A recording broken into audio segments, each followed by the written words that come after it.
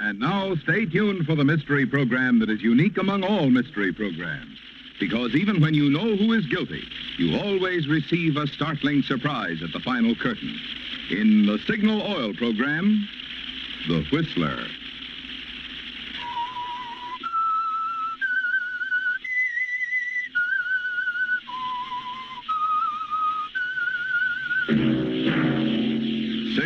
The famous Go Farther gasoline, invite you to sit back and enjoy another strange story by The Whistler.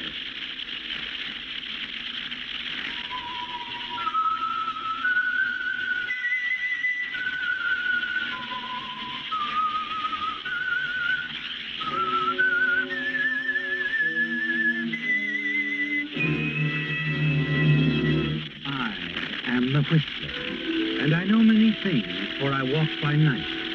I know many strange tales hidden in the hearts of men and women who have stepped into the shadows. Yes, I know the nameless terrors of which they dare not speak. And now for the Signal Oil Company, The Whistler's strange story Whirlpool.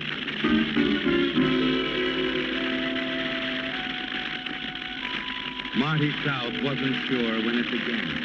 It was too much like walking in the middle of a nightmare and then remaining living in it. The shipwreck, the confusion, it was all there again, coming back to him, but slowly, hazily. There was a strange buzzing in Marty's ears, pressure, the sound of the sea, whirlpool of confusion.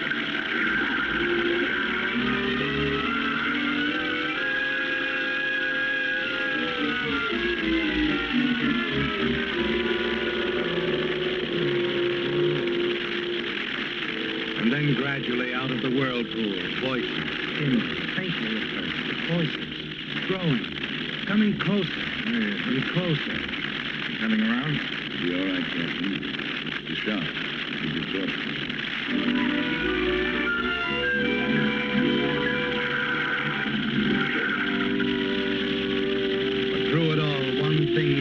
Clear to Marty South, in focus. Those few swift minutes before the ship heeled over on its side, before he leaped for the lifeboat and missed. There was a girl. Yes, a girl standing in the companionway just outside her cabin. Marty remembered her face, her fair skin, her clear eyes, wild as he shouted at her frantically. Don't stand there. Get up to the deck, the lifeboat. Boat? Oh, yes, I was just... Uh, wait a minute. Is anybody inside in the cabin? Cabin? There's... No.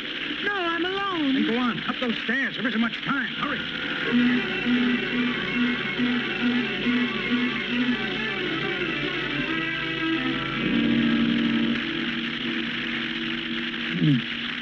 Much time. Uh.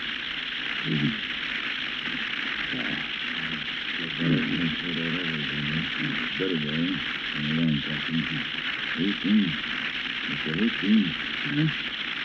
Hastings. You're safe, Mr. Hastings. Got you in time. Can you hear me? I'm the ship's captain. You're on board the SS Airborne, bound for Singapore. SS Airborne? That's right. Singapore. Here. Try to drink this, Mr. Hastings.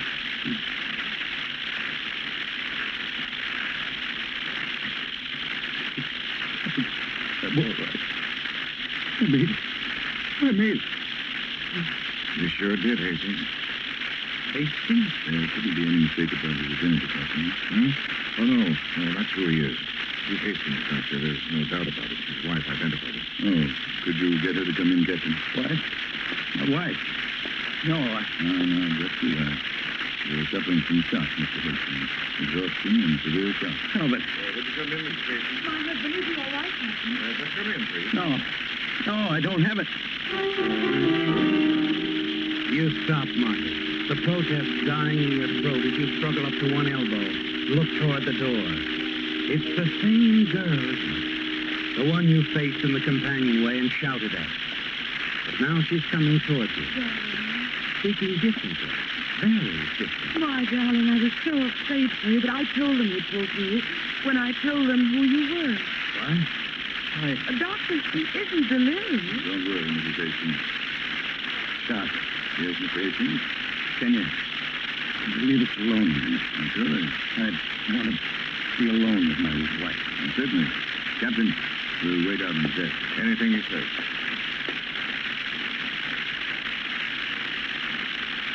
Okay. Now, you want to tell me what this is all about? But, darling, you shouldn't try to talk. Skip it. I'll- I can talk. So take me out. I'm okay. So you Of course you are. My name's South. Like this, or in a full dress suit. It's South. Marty South. It's a nice name. I like it. That's fine. You, uh, Mrs. Stephen Hastings of the Shanghai Hastings. You can call me Lucille. what about Mr. Hastings? My husband is dead. One that didn't make it? One that didn't make What happened to him? How come I you- don't know. Stop asking me. Stop looking at me like that. Like what? My husband, Stephen, like that. In the cabin when they first hit the alarm. He just sat there staring as if he was. Welcome what? Chance to die? I don't know. You couldn't get him out. No, I couldn't send anybody back here. I didn't think of something like that happening. I couldn't. Couldn't you been thinking since? Yes. Plenty out there. Well, come on, I'm waiting. My husband, Stephen, has some money for him. It's waiting for him now in Singapore. Waiting for Mr. Hastings to pick it up. Any Mr. Hastings will do. 20000 now, 30000 in a couple of weeks, 50000 altogether. Half of it could be yours. To begin with, how can you staff me off with your husband here on board? There were quite a few survivors, I heard. Nobody knew Stephen. He stayed in his cabin half the voyage. Most of the others were picked up by the Khalifa. Oh, your team in Singapore. No, the Khalifa's heading for the United States and not a soul in Singapore. Where's the money come from? From an old friend in Shanghai. E.J. Galloway. a business partner, my husband. You see, E.J. made a mistake on a business deal in Singapore. and I found out about it. I told Stephen what the last thing. He did. He got revenge.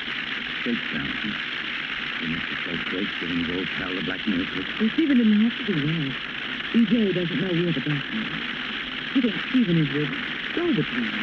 Stephen's to pick up the money in Singapore and make the payoff there to a man he's never seen. You see, Singapore is where he is. Blackmailer lives. Nice guy, your husband. He was, as a matter of fact. But he's terribly weak. So he almost got sick sometimes just thinking about it. About blackmailing the very thing. And why'd he go ahead with it? He likes me. Why? Oh, you don't know. I can be quite appealing, Maybe to guys like Stephen Hastings. but not to guys like Marty South. You guessed it. We'll see. If you get lonesome for me, darling. Even. That's all right.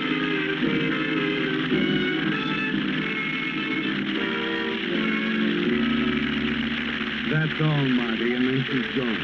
Leaving you to think it over. But you know her kind. Lucille is a man trap. We figure she'll be back soon to try to help you make up your mind. But that's where you make a mistake, isn't it, Marty? She lets you rest and think. At first you find yourself strangely curious. Then you think some more and you decide not to say anything to them about her husband, Stephen Hastings. Money is an important item to you, too, isn't it? Yes. Half a day out of Singapore, you can't stand it anymore. You call the doctor and send for her. Just hmm. figuring out how wonderful. I'm going better than that. Oh? Don't look as if you don't know why. Yes, you see. And how nice when you say it. Well, if you want to know what I decided, I know. yeah. You like me. Know, I think you like me. You headed with the first part. But get this. I know what I'm going into. It includes you only because you're necessary to my immediate prosperity. I'm very necessary, darling. So is you're having a husband, Stephen. Okay, I'll keep my eye out for you. Darling, I knew you would. Uh-huh. Smart gal. But here's something you don't know. Your husband made a big mistake when he fell in love with you. I'm not going to make the same mistake. I can't afford it. Oh? I never let love interfere with my style. Bad business. Everything all right, Mr. Hastings? Huh? Oh, yes, fine, Doctor. Isn't it, dear? Yes, so. Sure it is. And don't worry, darling. You'll feel better. Everything's going to be so much better. Hmm.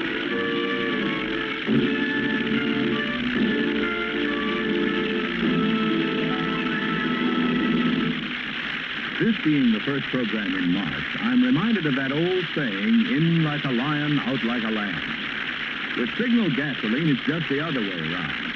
It goes into your car as a clear liquid, innocent looking as a lamb. But once inside your engine, it generates the power of a lion. However, while Signal's power may be likened to that of a lion, you'll find your car's appetite for Signal gasoline is gratifyingly small.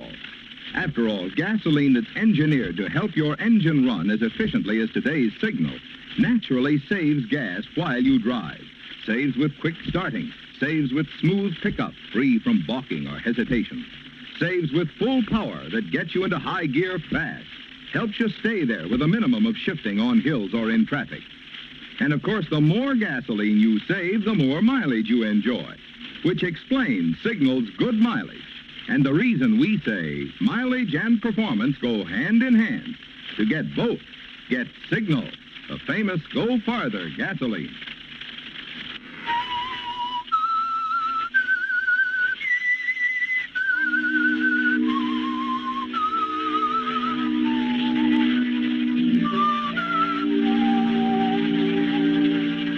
You made a decision, didn't you, Marty, about Lucille Hastings and the money waiting for Stephen Singapore. That day aboard ship, when she suddenly thrust opportunity into your hands by asking you to pose as her dead husband, Stephen Hastings. But there's another thing you've decided on, and that's more important than anything else. You're not going to make the same mistake he did, are you, Marty? No. You're not going to fall in love with Lucille because that doesn't fit in with your plans at all. Money is still the most important thing, isn't it? Even though you don't have very much of it at the moment, and you've never let a woman interfere, you've never let your heart rule your head where money is concerned. The first night in Singapore, the two of you moved easily around the dance floor of the Port Plaza Hotel seemingly the very devoted married couple, Mr. and Mrs. Stephen Hastings. Hmm. You dance well, dear. Stevens learned to dance better? Much better. Maybe the poor guy was tired. He had a right to be. I think we should stop talking about that. Mm, suits me. Come on back to the table. Let's talk about when we go to work. All right. The chair? Thank you. No, no. Let's see. I think we'd best wait a day or two. You can go there Wednesday for the first scene. The second will be ready in a couple of weeks. EJ couldn't raise it all at once. Where do I go? Well, I'll have to look at EJ's letter again for the exact address. It's a little tailor shop somewhere on Ponderosa Street. Ah, you don't have to look again. Not with that memory. It's a tailor shop. But why Wednesday? No reason. I just think it's best. All right. Hmm. Maybe it is, maybe it isn't. I don't get all this mystery. There isn't any mystery. I told you. Galloway stood still for a 50 grand shakedown, why didn't he just give it to you or send it to you direct? Why all this movie stuff? Uh, this was my idea, not EJ's. You see, in case EJ couldn't raise the money, or changed his mind, or decided to talk with the authorities, I, I thought it'd be much better for me if I was far away. With me for the fall guy if anything goes wrong here. Nothing can go wrong here. There's no crime in having your coat raised. What do I do when I get to this tailor shop Wednesday? As I said, you just have your coat raised. You can wait for it if you want to. Tell them you're Mr. Hastings. But if they want proof, They can call the hotel and ask Mrs. Hastings. But they won't. Oh, relax, darling. sorry, I can't relax. Not until I've had my coat pressed.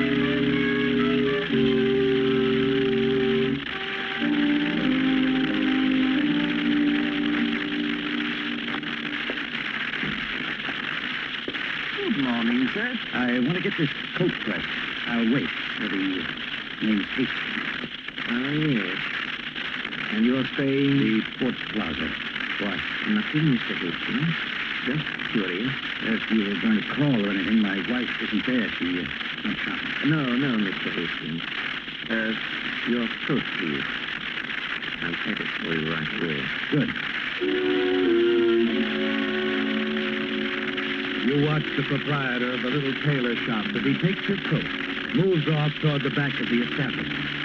You look around nervously, ready to run for it if anything goes wrong. But nothing does happen. He's back in a matter of minutes, isn't he? Handing the newly pressed coat across the counter. You pay him and slip it on. Feel the bulge of a heavy envelope in the inside pocket. Satisfactory, sir? I think so. Thanks.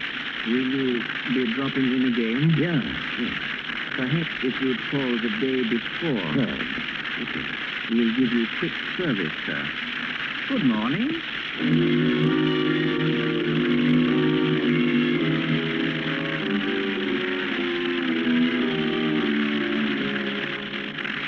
Half a block away, you open the envelope and look inside. It's there, isn't it? Twenty thousand dollars. You smile as you put it away. But there's still another payoff, another thirty thousand dollars. It would be stupid of you to walk out now, wouldn't it? Then your pulse quickens and you glance back. You're certain someone's following you, aren't you, Marty? And you realize that Lucille is still thinking as fast as ever. But you guessed you might pick up the money a day early, not wait until winter. You turn, hurry down the street on your way back to the hotel.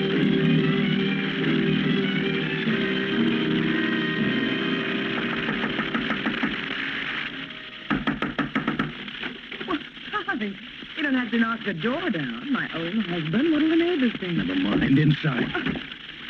That's all the excitement. What kind of a double cross is this? You had me followed, didn't you? Did I? That fat guy in a white suit.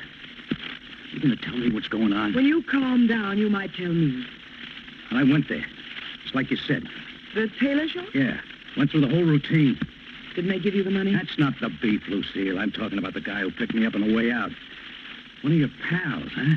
A high-powered insurance policy. You're not making sense, darling. If somebody followed you, it's because you're in Singapore.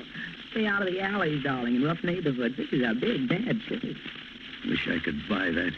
You can buy anything, Mr. Hastings. How much you get? Twenty thousand. Yeah, it's in the envelope. Pretty, isn't it? Darling. Yeah? Speaking of double crosses, I thought I told you not to go to the tailor shop until Wednesday. It's only Tuesday. All right, I, I'll forgive you this time. Will you? I'll try. What are you thinking? Mm, something pretty foolish. But sometimes you'd really like to level. Marty, darling, put your arms around me. What, so I can hold on to the sleigh ride? I wouldn't take you on a sleigh ride, you. You'd take anybody on me. Marty, Marty. Marty. Too bad it's not the keeps, Lucille. Tomorrow it could be a knife in my back. I really think that you want me to it, but that's now,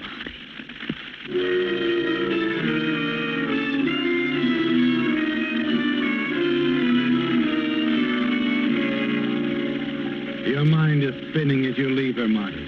You're afraid, aren't you? Because the one thing you've tried to guard against is happening. Slowly, surely, you're falling for her. And you know what it can mean.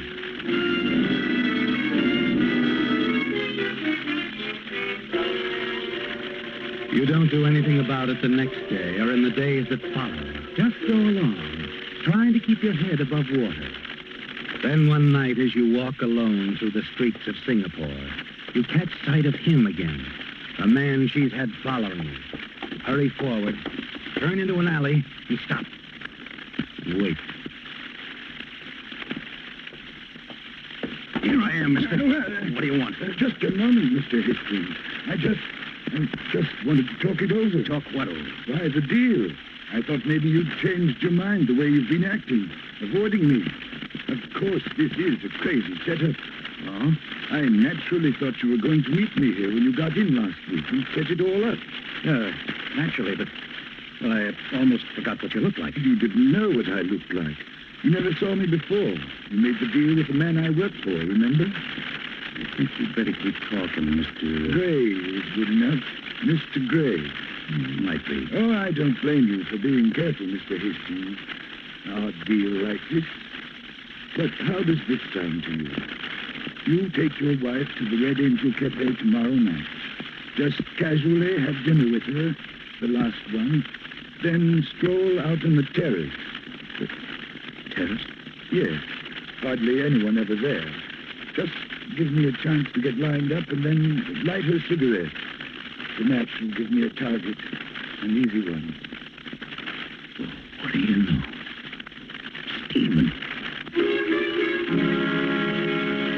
You suddenly. Stephen Hastings, the weakling. He'd actually set up a plan to kill her at the end of the voyage. A plan that he was too weak to go through with. Perfect, isn't it? You can get rid of Lucille tomorrow night. And a few days later, you can drop around to the tailor shop, pick up the rest of the money, and leave town. But you're not sure that this is the way you want it to be, are you? Not even for $50,000. What is the matter, Mr. Hastings? You haven't changed your mind. Changed my mind? Well, uh, I would like a little more time to think it over. I've been doing some thinking. I want the $5,000 you agreed on, Mr. Hastings. 5000 Okay, we'll get it. Yes. Please leave it in your hotel box. Small, new bill. Cash. Yes, sure. Gray, Yes? if the money's in the box, tomorrow night, you'll see us, my wife and me, at the Red Angel Cafe. On the terrace. Yes. I'm to light the cigarette. That is right, Mr. Hastings. And uh, take your time thinking it over. Eh, It's quite a decision for a man to make. In your position, I don't blame you. You uh, sleep on it. I don't mind waiting a little longer.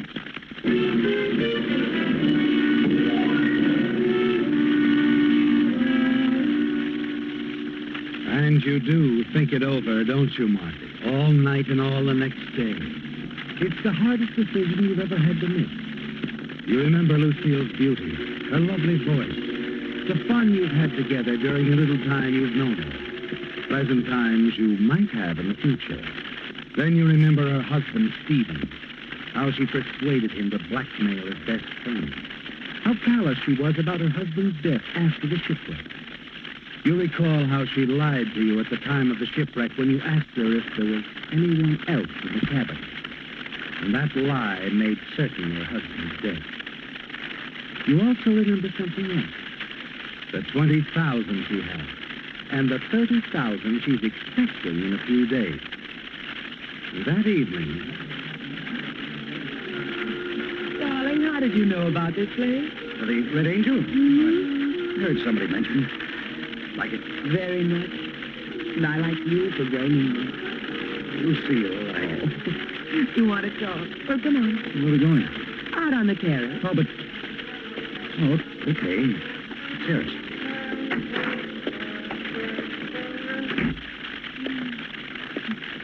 You can see the lights in the harbor. Beautiful, isn't it? Yeah. Uh, Marty, you, you were going to tell me something. Yeah, yeah, I was. I think I know what it is. You know, Marty, you're, you're not like Stephen at all. You're anything but weak. Except when it comes to putting this sort of thing into use.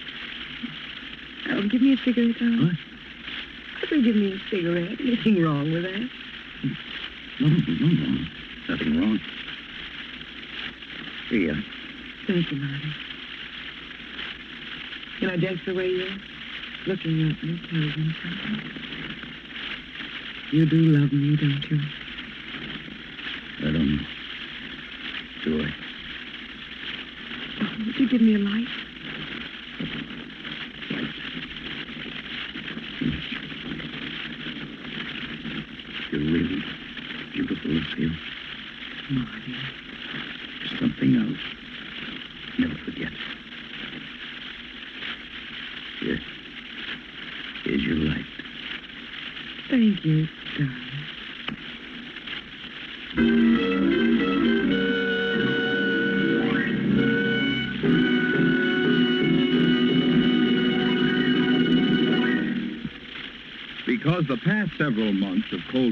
Been particularly tough on car batteries, here is some news that's worth remembering.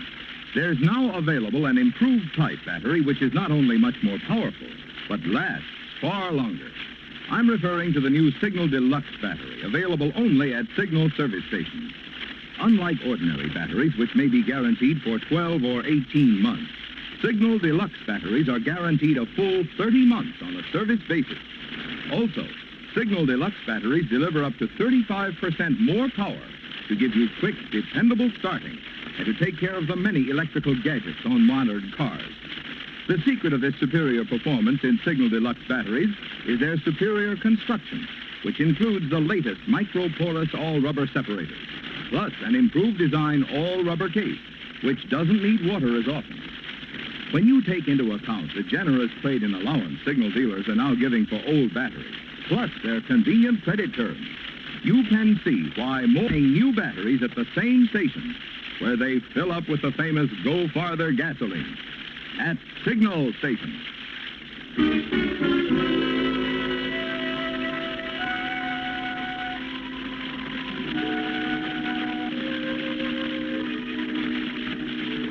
It was like a whirlpool, the shipwreck, the swirling waters.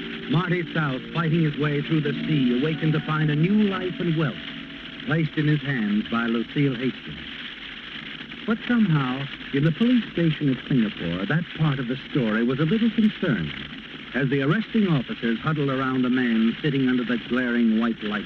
Come on, Gray. We know you did it. No, no. You've been followed since you asked for that money in Hastings' hotel box. The clerk didn't like your look. And Mr. Hastings gave me the money. He left it for me. What was it for? Killing? No, no. Gray, you were seen firing the gun. How do you think he arrested you so quickly? No, I, I, I, no, I, I did it. But it was Hastings' idea. That's what the money was for. But why did I he... guess Hastings was just tired of everything. He was a weakling. Suicide's been on his mind for months, only he didn't have the nerve. So he hired us, he, me, to do it for him. But why his wife? Oh, how do I know?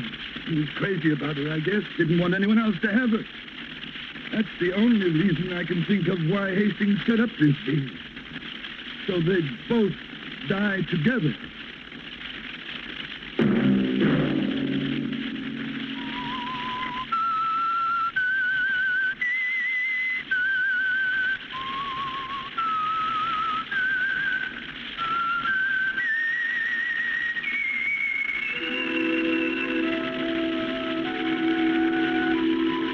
That whistle be your signal for the Signal Oil program, The Whistler, each Sunday night at the same time. Signal has asked me to remind you that today the Red Cross must not only be prepared to save lives and relieve suffering in any disaster that may occur anywhere in this country. In addition, it must provide blood and other needed help for our GIs overseas. Good reason why this year the Red Cross needs more of us to help, and more help from each of us. Featured